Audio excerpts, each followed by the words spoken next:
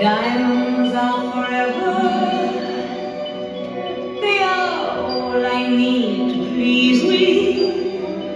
They can stimulate to tease me.